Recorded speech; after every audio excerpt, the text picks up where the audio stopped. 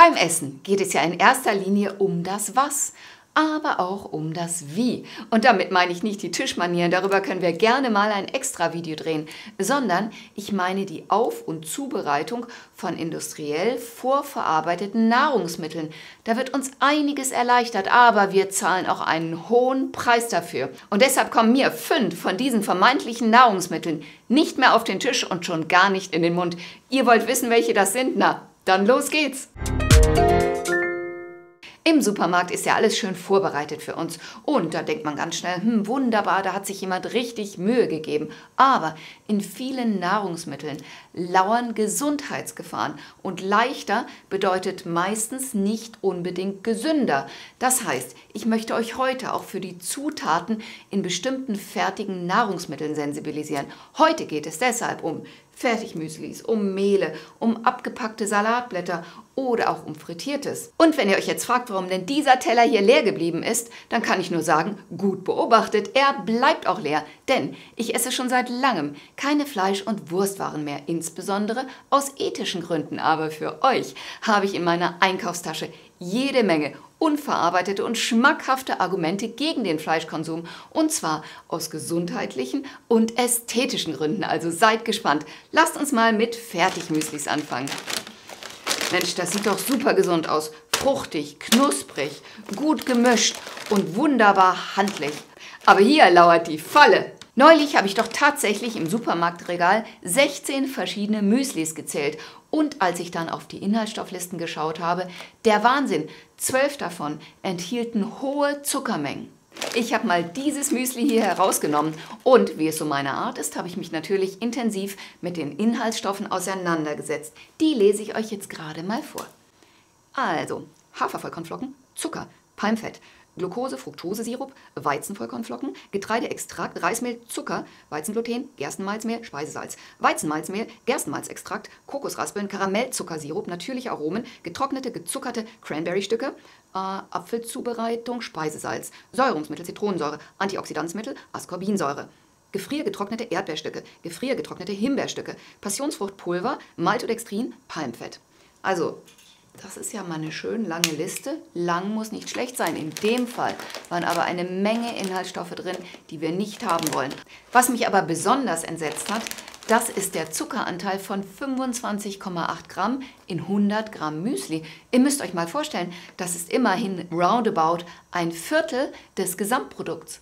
Also Leute, ich gebe ja zu, dass ich selber gerne Süßigkeiten esse. Dunkle Schokolade, Pancakes, Kuchen und so weiter. Aber dann bin ich mir dessen auch bewusst und kann den Zucker woanders wieder einsparen. Aber beim Fertigmüsli ist es doch so, dass häufig etwas Ungesundes unter dem Deckmäntelchen des Gesunden verkauft wird. Und viele sind sich dessen gar nicht bewusst, dass 100 Gramm eines Fertigmüslis schon mal den Zuckergehalt eines Stück Kuchens erreichen können. Und manche denken vielleicht, oh, na ja, ich achte ja drauf und kaufe immer Müslis ohne Zuckerzusatz. Achtung, dieser Hinweis ohne Zuckerzusatz sagt nichts über den tatsächlichen Gehalt an Zucker in einem Produkt aus. So gibt es zum Beispiel Fertigmüslis, die 20 bis 30 Prozent Zucker enthalten, ohne dass auf der Zutatenliste Worte wie Zucker oder Glukosesirup aufgeführt sind. Denn die Süßung kann ja auch aus enthaltenen Trockenfrüchten stammen. Da ist ja auch Zucker drin, aber das ist auf den ersten Blick nicht erkennbar. Lasst uns in dem Zusammenhang mal folgende Zahlen betrachten. Die Deutsche Gesellschaft für Ernährung und die Weltgesundheitsorganisation empfehlen eine maximale Zufuhrobergrenze freier Zucker von weniger als 10% der Gesamtenergiezufuhr. Bei Kindern ist übrigens die maximal empfohlene Zufuhr geringer und bei Jugendlichen oder sportlich Aktiven kann sie auch höher sein. Ist ja logisch. Zurück zu den maximal 10% der Gesamtenergiezufuhr. Das würde zum Beispiel bei einer Aufnahme von ca. 2000 Kilokalorien am Tag einer Menge von 50 Gramm freien Zuckern entsprechen. Zum Beispiel 10 Teelöffel Zucker oder auch 14 Stück Würfelzucker. So, und wenn man hier jetzt so 100 Gramm Müsli zum Frühstück isst von diesem Müsli, dann hätte man nach dem Rechenbeispiel mit den 2000 Kilokalorien pro Tag ja schon die Hälfte der maximalen Zufuhr des freien Zuckers erreicht. Aber wenn sich Anne jetzt noch sagt, naja, 100 Gramm, das reicht mir nicht, ich nehme mal 200, ist ja so gesund, dann wäre schon die gesamte Maximalmenge des freien Zuckers erreicht. Also Leute, ich möchte euch für solche Rechenbeispiele sensibilisieren. Und wenn man dann jetzt über den Tag hinweg sich denkt, na ja, hier noch ein Stück Kuchen, hier noch ein bisschen Schokolade, Bonbons, Eiscreme, whatever, dann seid ihr sowas von schnell drüber. Und ich muss natürlich auch darauf hinweisen, wenn jemand einen niedrigeren Grundumsatz hat oder abnehmen möchte, dann gelten natürlich auch niedrigere Maximalwerte für die Zufuhr von freien Zuckern. Aber was sind denn jetzt freie Zucker? Darunter versteht man unter anderem Einfachzucker wie Glucose oder Fructose, aber auch Disaccharide, wie zum Beispiel den Haushaltszucker, auch Saccharose genannt. Er besteht aus einem Molekül Glucose und einem Molekül Fructose. Auch die Maltose gehört dazu. Sie besteht aus zwei Molekülen Glucose. Ihr seht also, für Zucker gibt es viele verschiedene Bezeichnungen. Aber mit freien Zuckern sind nicht nur Zugaben zu Nahrungsmitteln von herkömmlichen Zuckern gemeint, sondern auch von solchen, die zum Beispiel in Honig, in Sirupen, in Fruchtsäften oder in Fruchtsaftkonzentraten vorhanden sind und Nahrungsmitteln zugegeben werden. Übrigens bezieht sich die vorhin genannte Richtlinie nicht auf den natürlichen, in frischem Obst vorkommenden Zucker. So, wir haben jetzt über die verschiedenen Möglichkeiten von Namen für Zuckern gesprochen. Und da gibt es über 70 verschiedene Varianten. Wer soll sich die denn alle merken und dann auch noch in der Zutatenliste zuordnen? Deshalb hier mein ganz einfacher Tipp. Schaut immer auf der Nährwerttabelle eines Produkts nach, wie viel Zucker enthalten ist. Das ist ganz, ganz einfach. Unter der Angabe Kohlenhydrate findet ihr einen weiteren Punkt, der lautet davon Zucker. Und dann habt ihr es letztendlich. Zucker gehören ja auch zur großen Gruppe der Kohlenhydrate. Und vielleicht findet ihr sogar ein Müsli mit einem niedrigen Zuckergehalt, das gute Zutaten enthält. Letztendlich ist es doch viel besser, sich ein Müsli selber zusammenzustellen. Und so zeitaufwendig ist das jetzt auch nicht. Zum Beispiel aus Haferflocken, Chiasamen, Nüssen, Äpfeln, Karotten und so weiter. Da gibt es so viele Möglichkeiten. Und vor allem könnt ihr viel besser den Gehalt an freien Zuckern kontrollieren.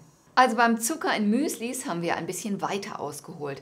Aber jetzt wird's kurz und knackig. Mein No-Go Nummer 2 abgepackte Salatblätter. Auch wenn es bequem ist. Abgepackte, vorgeschnittene Salatblätter, Feldsalat oder auch Salatmix zur Hand zu haben, sie werden vermehrt das Risiko von Keimbesiedlungen, zum Beispiel Salmonellen oder auch Schimmelpilzen. Ist ja auch klar, sie befinden sich die ganze Zeit in einer feuchten Kammer, was Keimbesiedlungen fördert. Aber das ist meist nicht sichtbar und häufig sehen solche Blattsalate länger frisch aus, als sie eigentlich sind. Achtung, wenn auf der Verpackung steht, laut Gesetz ohne Konservierungsstoffe, dann bedeutet das nur, dass keine künstlichen zusätzlichen Konservierungsstoffe entsprechend der gesetzlichen Richtlinien eingesetzt wurden. Das bedeutet aber nicht, dass nicht doch in die Trickkiste gegriffen wurde. Es können nämlich natürliche Methoden eingesetzt werden für eine verlängerte Haltbarkeit und einen schönen frischen Look. Das können zum Beispiel Zitronensäure oder auch Essig sein, die per se schon mal konservierende Eigenschaften besitzen. Aber die Haltbarkeit kann auch durch bestimmte Verpackungsmethoden verlängert werden. Und dazu gehört auch die Verpackung unter Schutzatmosphäre mit Gasgemischen aus, zum Beispiel Sauerstoff, Kohlendioxid und Stickstoff. Dadurch sieht der Salat länger als normal frisch aus und die Nährstoffe, die ihr zu euch nehmen wollt, sind schon längst viel weniger geworden. Außerdem stellen auch solche Plastikverpackungen eine erhebliche Belastung für die Umwelt dar. Also kauft lieber Salatköpfe im Ganzen, wascht den Salat und bewahrt ihn im Kühlschrank auf. Noch eine ganz wichtige Information. Beim Schneiden von Salat tritt ja Pflanzensaft aus. Und darin fühlen sich Bakterien, insbesondere die gefürchteten Salmonellen, sehr, sehr wohl und feiern eine richtige Party. Und das kann natürlich auch zu Magen-Darm-Beschwerden führen. Aber noch ein Tipp für zu Hause. Wenn ihr Salat vorschneidet, zum Beispiel für ein Meal Prep, das mache ich ja auch, dann achtet bitte darauf, dass das Messer besonders sauber ist.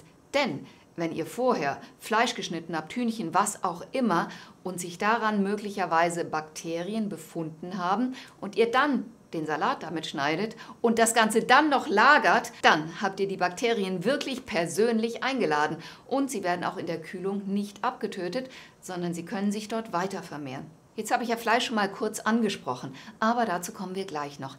Erstmal geht es um Punkt Nummer drei der Nahrungsmittel, die ich möglichst meide. Und zwar fettig frittiertes. Hm, früher habe ich da schon mal zugegriffen, aber das hat sich geändert. Wenn ihr auswärts esst, zum Beispiel Streetfood, dann wird häufig dafür minderwertiges Fett eingesetzt. Und das wird dann auch noch oft mehrfach hintereinander immer wieder neu erhitzt. Also jetzt stellt euch mal vor, diese riesigen Becken mit Fett, die werden natürlich nicht jedes Mal beim erneuten Frittiervorgang wieder ausgetauscht. Beim Frittieren mit bestimmten Fetten können sich sogenannte Transfette korrekterweise Transfettsäuren bilden. Die erhöhte Zufuhr von Transfettsäuren verstärkt Entzündungsprozesse im Körper und erhöht das Risiko für Herz-Kreislauf-Erkrankungen, Fettstoffwechselstörungen und Schlaganfälle. Aber beim Frittieren, insbesondere von stärkehaltigen Lebensmitteln, kann auch Acrylamid entstehen, das als krebsfördernd eingestuft wird. Also mit meinen Informationen möchte ich euch natürlich nicht den Spaß an den Pommes verderben. Und es gibt Situationen, da passt das ja auch mal. Aber ich möchte euer Bewusstsein dafür schärfen, dass ihr nicht jeden Tag frittiertes essen solltet. Kommen wir zu Nummer 4 der Nahrungsmittel, die ich mittlerweile meide. Brot, Gebäck und so weiter aus Weizenweißmehl. Ich liebe ja Brot und ich esse es auch täglich, aber eben möglichst nicht mit Weizenweißmehl bzw. nur mit sehr geringen Anteilen davon. Weizenweißmehl, aus dem leider auch über 90 Prozent meiner geliebten Brezeln und Croissants bestehen, ist nämlich nicht förderlich für die Gesundheit unseres Körpers. Ein Grund dafür liegt darin, dass es so gut wie keine gesundheitsförderlichen Inhaltsstoffe mehr enthält, wie zum Beispiel Mineralstoffe oder Ballaststoffe. Wir können also sagen, es ist leer und dabei kohlenhydrat- und kalorienreich ohne Benefits. Zudem hat es einen recht hohen Glutenanteil. Ich muss aber zugeben, dass das für mich keine große Rolle spielt, weil ich damit keine Probleme habe. Für Leute mit einer Glutenunverträglichkeit hingegen hat es eine sehr große Bedeutung. Weizenweißmehl wird zudem schnell im Verdauungstrakt zu Zucker umgewandelt, geht auch schnell ins Blut über und kann dort zu Blutzucker und Insulinspitzen führen. Beim Wiederabfallen kann es zu starken Heißhungerattacken kommen und insgesamt sind erhöhte Blutzucker- und Insulinspiegel auch ungünstig für unsere Gesundheit. Klar, Leute, ich relativiere das ja auch immer für euch und natürlich darf da kein Fanatismus entstehen. Mal eine Brezel oder ein Gebäck aus Weizenweißmehl ist noch kein Drama. Es kommt ja auf das gesamte Ernährungsmuster an. Aber bei vielen Menschen besteht eben das gesamte Ernährungsmuster aus hohen Anteilen von Weizen-Weißmehlprodukten und das ist definitiv schlecht für die Gesundheit. Über Kohlenhydrate, glykämischen Index, glykämische Last, Blutzuckerspiegel, Insulin und so weiter habe ich euch bereits einige hilfreiche Videos gedreht, in denen ich auch eine Menge Essenstipps gebe. Und allen, die wie ich gerne Brot essen, möchte ich empfehlen, steigt doch auf Vollkornbrote um. Da gibt es verschiedene Varianten, zum Beispiel aus Vollkornmehlen, Schrot und oder Körnern. Bei Vollkornmehlen ist das ganze Korn enthalten, also auch die Schale und damit ebenfalls wichtige Mineral- und Ballaststoffe. Vollkornprodukte führen auch nicht dazu, dass der Blutzuckerspiegel so schnell und hoch ansteigt und auch wieder so schnell fällt. Damit werden Heißhungerattacken vermieden und Vollkornprodukte halten auch länger satt. In diesem Video hier erkläre ich übrigens, worauf ihr beim Kauf von Vollkornprodukten achten solltet und mit welchen Tricks die Lebensmittelindustrie arbeitet. No-Go Nummer 5 der Nahrungsmittel, die ich definitiv nicht mehr esse. Fleisch- und Wurstprodukte. Bevor ich zu den gesundheitlichen Argumenten gegen Fleisch- und Wurstkonsum komme, möchte ich noch kurz auf die ethischen Gründe eingehen. Ich esse aus ethischen Gründen kein Tier mehr. Mir geht es dabei vor allem um die vielen Aspekte des unwürdigen Verhaltens von Menschen gegenüber Tieren, mit denen ich nichts mehr zu tun haben möchte. Ich plane auch zum Thema Fleisch, wozu auch Fischfleisch gehört, noch ein extra Video. Ich möchte vorab nur Folgendes sagen. Beim Schlachten gibt es nichts, einfach gar nichts zu beschönigen. Und auch dieses Argument, ich esse ja nur Biofleisch, das gilt nicht, denn spätestens beim Schlachten hört Bio auf. Auch diese Tiere wurden nicht in den Tod gestreichelt. Und was viele Menschen gar nicht wissen, ist, dass sogenannte Biotiere häufig in denselben Schlachtfabriken getötet werden wie ihre Leidensgenossen aus konventioneller Tierhaltung. Kommen wir zu den gesundheitlichen Gründen, die gegen Fleischkonsum sprechen. Wusstet ihr, dass laut der Internationalen Agentur für Krebsforschung insbesondere der Konsum von rotem Fleisch und Wurstwaren als Risikofaktor für Krebsarten wie Darmkrebs gesehen wird? Aber auch das Risiko von Herzerkrankungen und Schlaganfällen wird damit in Zusammenhang gebracht. Des Weiteren sind oft hohe Mengen an Cholesterin enthalten, das kann sich negativ auf die Gefäße auswirken. Außerdem enthalten Fleisch und Wurst häufig hohe Mengen an gesättigten Fetten, die Entzündungen im Körper fördern können. Wir dürfen auch das Thema Antibiotikaresistenz natürlich nicht übersehen. In der Massentierhaltung werden häufig Antibiotika eingesetzt, um Krankheiten zu behandeln, die entstehen, wenn Tiere nah beieinander eng eingepfercht vor sich dahin vegetieren. Der Konsum von Fleisch, das mit Antibiotika behandelt wurde, kann zur Entstehung von antibiotikaresistenten Keimen führen. Und diese Resistenzen machen es dann in der Folge schwieriger, bakterielle Infektionen beim Menschen zu behandeln. Und das wiederum nimmt auch Einfluss auf die öffentliche Gesundheit. Bitte beachtet solche Aspekte auch immer bei der Diskussion, wenn es um Fleischkonsum geht.